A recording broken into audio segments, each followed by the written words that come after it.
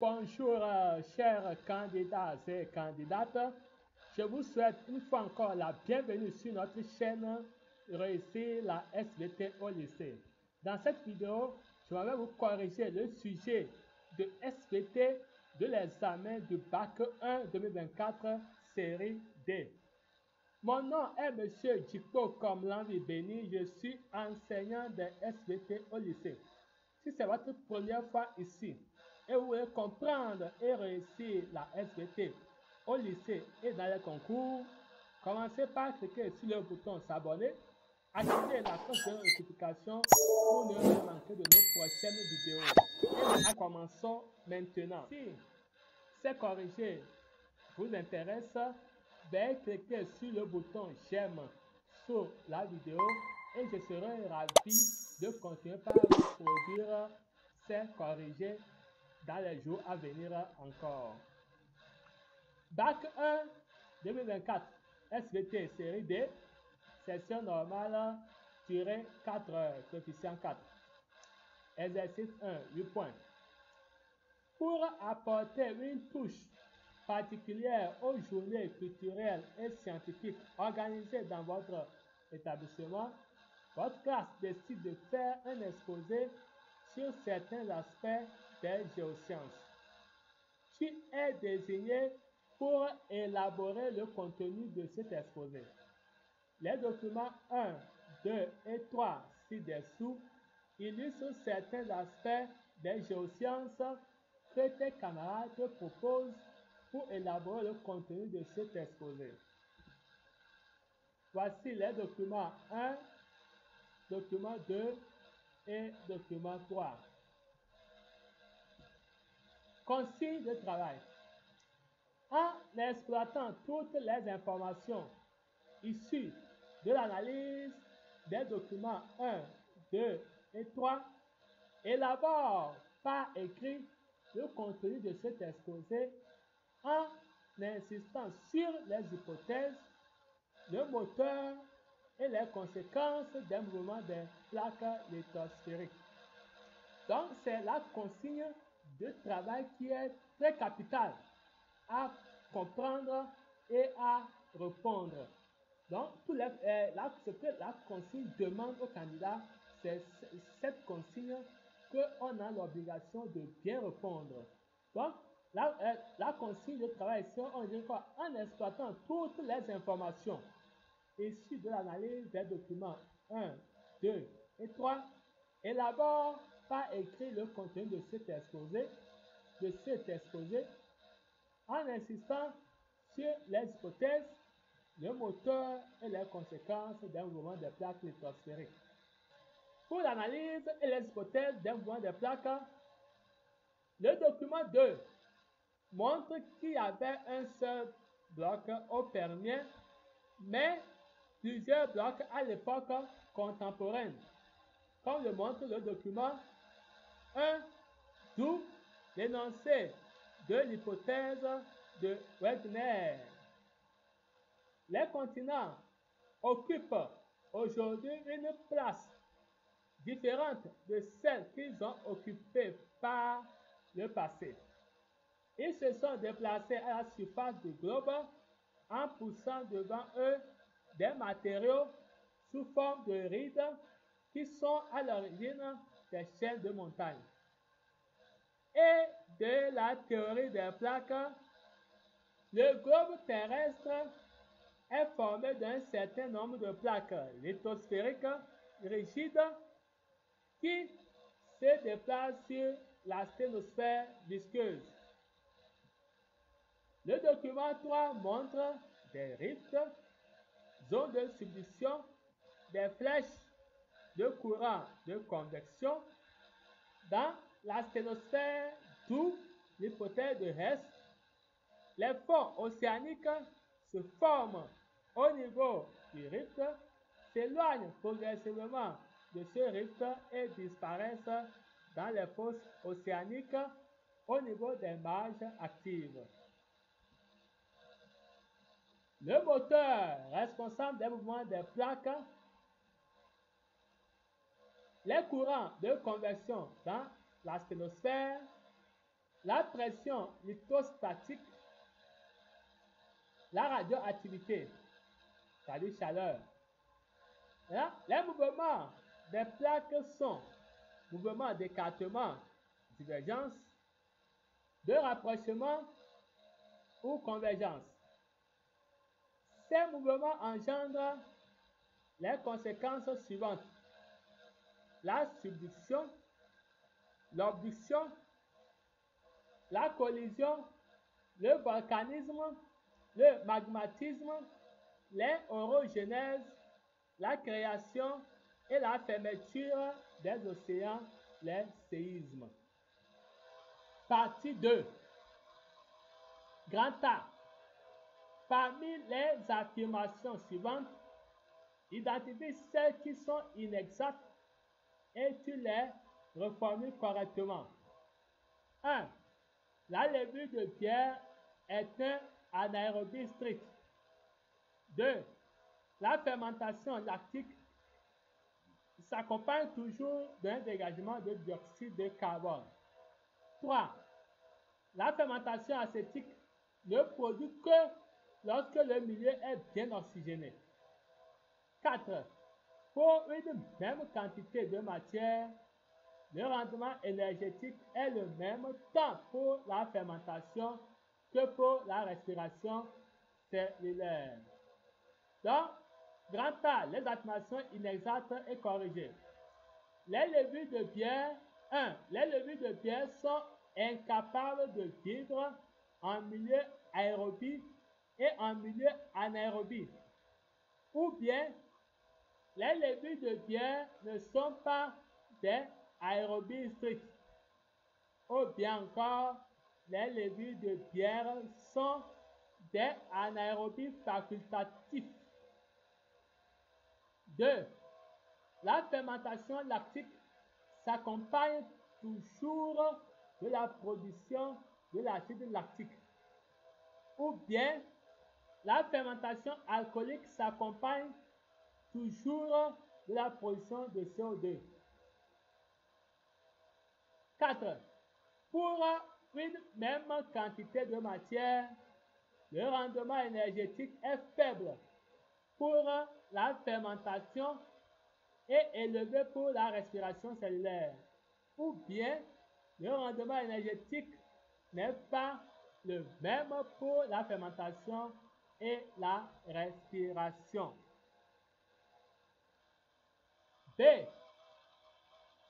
Associe chaque mot ou expression de la colonne A du tableau à sa correspondance de la colonne B sans reprendre le tableau. Donc, euh, exemple A6 égale à B5. Donc, voici la colonne A, voici colonne B. Le A1, collision. B1, morceau de manteau supérieur recouvert par une croûte continentale ou océanique. B2, chaîne de montagnes sous-marines. A2, c'est le rythme. A3, lithosphère. B3, rencontre entre deux plaques de même densité formant une chaîne de montagnes. A4, dorsal. B4, fossé d'effondrement situé au milieu d'une chaîne de montagnes sous-marines.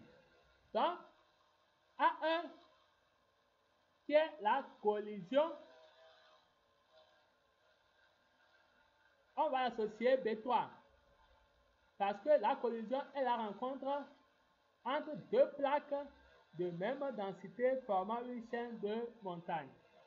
On prend A2 qui est le rift, le, le rift, on va l'associer à, on va associer à A2, B4. Le rift, c'est un fossé d'effondrement situé au milieu d'une chaîne de montagnes sous-marines. Et là, A3, qui est la lithosphère, on va associer B1. Car, car la lithosphère, c'est un morceau de manteau supérieur recouvert par une croûte continentale ou océanique. Maintenant, pour A4, qui est dorsale, on va associer B2. Donc, la dorsale est une chaîne de montagne sous-marine. Donc, A1, on va associer B3, A1 égale à B3, A2 égale à B4, A3 égale B1, A4 égale B2. Grand C. Ça reprend le test ci-dessous. Trouve le mot convenable à la place de chaque chiffre. Exemple 7 égale magma. La géologie du Togo s'inscrit dans le grand ensemble de la géologie de l'Afrique de l'Ouest et comprend quatre grands ensembles géologiques. Il s'agit du nord au sud du point 1, du bassin des volcans, de la chaîne des taroméides et du point 2. Du point de vue historique, les formations géologiques du Togo sont mises en place en plusieurs étapes. La formation des cratons et des anciennes roches au cours de l'eurogenèse. Point 3. La période de glaciation suivie de transgression et dépôt de sédiments. La formation de la chaîne des Daroméides au cours de l'eurogenèse. Point 4. Puis l'immersion d'ouverture de l'océan Atlantique avec formation du bassin sédimentaire côtier. Donc, on dit de prendre, de, ça, ça reprend le test de trouver le mot convenable à la place de chaque chiffre. Donc, on prend le 1, le 1 ici, c'est socle birinien. 1, c'est socle. Là, il s'agit du nord aussi du socle birinien. 1, c'est socle birinien ou socle épurnéen ou encore craton ouest africain ou encore socle précambrien. Pour le 2, du bassin des voltages de la chaîne des Daroméides et du, le 2, c'est bassin sédimentaire côtier. Là, du point de vue historique, les formations géologiques du Togo sont mises en place en plusieurs étapes. La formation des cratons et des anciennes roches au cours de l'eurogenèse. Le 3, c'est épurnéenne. La période de glaciation suivie de transgression et dépôt de sédiments. La formation de la chaîne des Taroméides au cours de l'eurogenèse. Point 4. Le cas c'est panafricaine. Puis l'immersion, l'ouverture de l'océan Atlantique avec formation du bassin sédimentaire côtier. Donc, pour le grand C, 1. Socle pyrénéen ou socle épurnéen ou craton ouest africain ou socle précambrien. Pour le 2, bassin sédimentaire côtier. 3. Épurnéenne. 4. Panafricaine. Partie 3. Grand 1. Des mesures de l'intensité respiratoire ont été faites chez un chien au repos et un homme au repos. Les valeurs obtenues sont consignées dans le tableau ci-dessous. Dans le tableau. 1. Trace sur le repère d'axe les graphes de l'intensité respiratoire des deux animaux en fonction de la température. Donc, au 1, on, on nous dit de faire, de tracer les graphes. Donc, ils n'ont pas donné d'échelle.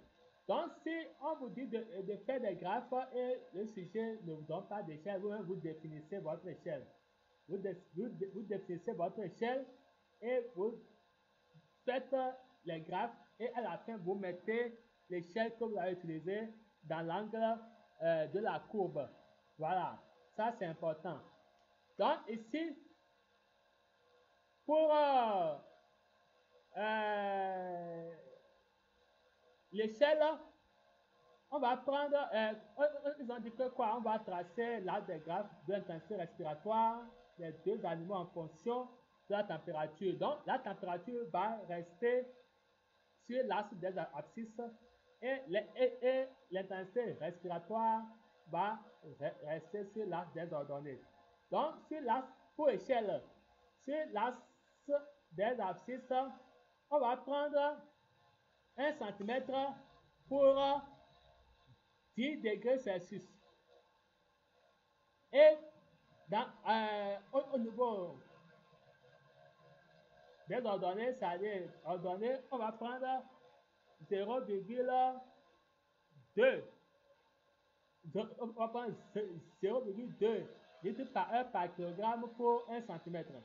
Donc, pour l'échelle, vous allez écrire que OX, 2 points, 1 cm pour 10 degrés Celsius. Maintenant, OY, 1 cm pour 0,2. Voilà. Donc, si vous, utilisez cette échelle, vous allez, quand vous allez utiliser cette échelle, vous allez avoir ces différentes, ces différents graphes. Ça, c'est pour le chien. Ça, c'est pour l'homme. En différentes couleurs là. Voilà. Et bon, là, les, les, jambes, vous mettez les, les jambes que euh, ça, j'avais pour montrer que ça là, ça c'est pour l'homme et ça c'est pour le chien. Maintenant, et vous mettez euh, le titre. Le titre c'est important, ça prend de points. Graphe de l'intensité respiratoire du chien de l'homme en fonction de la température. Maintenant, on demande un 2, analyse ces graphes tracés et détermine graphiquement la dépense énergétique minimale de chaque animal. Donc, pour analyse 1, 2, pour analyse pour l'homme, de 0 à 20 degrés L'intensité respiratoire diminue. De 20 degrés Celsius à 40 degrés Celsius, elle augmente. Là, pour le chien, de 0 à 30 degrés Celsius, l'intensité respiratoire diminue. De 30 degrés Celsius à 40 degrés Celsius, elle augmente. Donc, la dépense énergétique minimale chez l'homme est 0,23 litres par heure par kilogramme et chez le chien, c'est 0,47 litres par heure par kilogramme. Comment on a pu déterminer euh, la dépense énergétique minimale chez l'homme? Euh, et chez le chien. Donc, comme ils ont parlé de, détermination euh, graphique, on va déterminer graphiquement la dépense énergétique minimale. Donc, on vient au niveau de la courbe ici. On, prend graphe de l'homme. Voilà la valeur minimale qui est ici. Euh, donc, vous prenez les, les, et vous projetez perpendiculairement ce point-là sur l'axe des ordonnées. Donc, quand vous, projetez ça euh, perpendiculairement sur l'axe des ordonnées, donc vous allez trouver 0,23 litres par heure par kilogramme là. Là, pour le chien, la, valeur minimale, c'est ici donc, à partir de ce point, vous faites la projection, projection perpendiculaire aussi sur euh, l'axe des ordonnées. Et si, vous faites cette projection, vous allez également trouver les 0,47 litres par heure par kilogramme qu'on a trouvé pour le chien. Donc, maintenant pour le 3, le 1-3, il dit formule une hypothèse, formule une hypothèse qui explique la différence entre les deux valeurs. Une hypothèse qui, euh, qui explique la différence entre les deux valeurs. L'hypothèse est que quoi? Pour les mêmes températures, le chien a son intensité respiratoire plus élevée, plus élevée que celle de l'homme.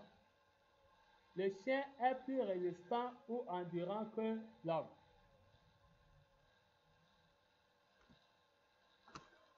Deux, les figures A, B, C, D et E, allez, A, B, C, D et E, du document ci-dessous illustre certaines étapes de la vie d'une cellule. De 1. Quelles sont les techniques utilisées pour observer ces étapes? De 2. S'agit-il d'une cellule animale ou d'une cellule végétale? Justifiez ta réponse. De 3. De quel phénomène biologique s'agit-il? Justifie ta réponse. De 4. Quand ces figures dans l'ordre chronologique du déroulement du phénomène observé, justifie ta réponse. De 5. Quelle est l'importance du phénomène observé? De 1. Les techniques utilisées. Observation microscopique, microscope, culture cellulaire, technique de coloration et de microphotographie. De 2. Il s'agit d'une cellule animale car on observe la présence des astères et du sillon de division. De 3. Le phénomène biologique est la mitose car on observe des chromosomes individualisés et non des tétrades et de cellules filles à la télophase. De 4. Ordre chronologique. On a D, E, A, D. Pour la justification, B, c'est la prophase début. E, c'est prophase avancée. C, c'est la métaphase. A, anaphase. D, télophase. De 5. L'importance de la mitose. Elle assure la multiplication des cellules chez les organismes pluricellulaires, le développement de l'embryon et croissance du gène, le maintien de la garniture chromosomique de l'espèce, la cicatrisation des plaies, la reproduction conforme, la pérennité des espèces et la conservation de l'information génétique. Nous voici arrivés à la fin de ce corrigé du bac 1 2024 SVT série D. Je vous dis encore merci pour votre intérêt et je vous donne rendez-vous très prochainement sur notre chaîne Réussir la SVT au lycée pour d'autres aventures. D'ici là, portez-vous bien et bye bye.